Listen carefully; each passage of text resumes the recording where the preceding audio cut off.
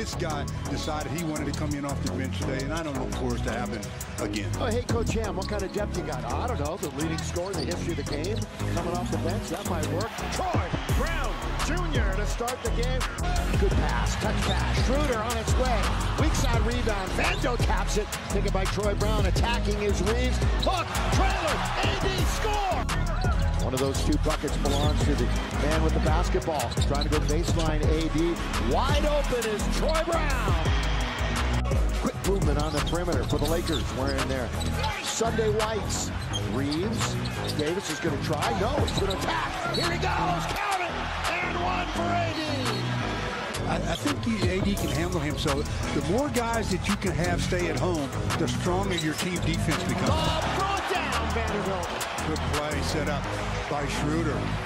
Schroeder attacking LaVine. He did not give up baseline. Four to shoot. Dennis now to Beasley. Catch. Fire. Got it for Bees.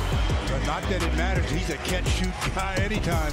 Also in the game for Chicago, Patrick Williams, where they really liked him since he came on board. Oh, reverse layup. He comes down the other side. Is Austin Reaves. Nobody home on the baseline. LeBron in the game. Has not shot it yet. Has control of it with Williams in front of him. Now LeBron all the way to the basket to score. Andre Drummond has really traveled around. Beasley for three. AD has position. Second chance dunk. He averages about 13 minutes a game. That's it. Making the most out of his opportunity so far. Reaves for three. Yes, sir, Austin Reaves. And their defense has had a huge improvement. Chicago, and they're at it again. Ball through one right away. Hello, defense. Slam it home, Troy Brown Jr. I'll take the gift. Great composure for White. He goes around Davis all the way, but can't score. A little bit altered that time because of the specter of AD. Down the middle, throw it down again, Troy Brown Jr. Timeout, Billy Donovan. Ends a 12-2 Laker run. LeBron now wants to get into the paint, spins one way then the other, going up against his former teammate, Caruso. Pair number six is squaring off. 13-0 Chicago. A lot of that off the turnovers. Lakers have turned it over 12 times, allowed 24 points off of the turnovers. Chicago's only allowed five in that regard. LeBron had it. He stays with it and scores with the students. Good recovery by the Bulls. Look at where Caruso, he went from the far side of the floor to the near side to guard Schroeder. DeRozan comes over for help. Jones trying to block Davis. That's a big body in Anthony Davis with an and one. The Lakers aren't able to take advantage. Derrick Jones, Jr., weak side rebound, Schroeder. Lakers and LeBron. LeBron, here he is, charging, score!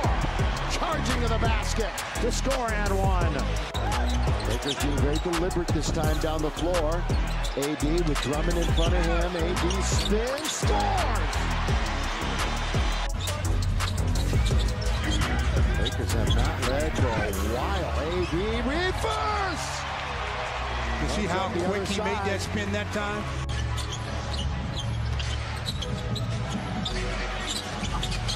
Reaves. Oh, he was around Drummond to score.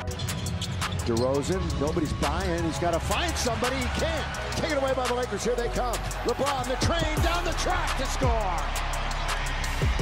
Oh, when he steps on the afterburner, he can still change ends, can he? By the way, LeBron has only taken one three. That's a block by Troy Brown.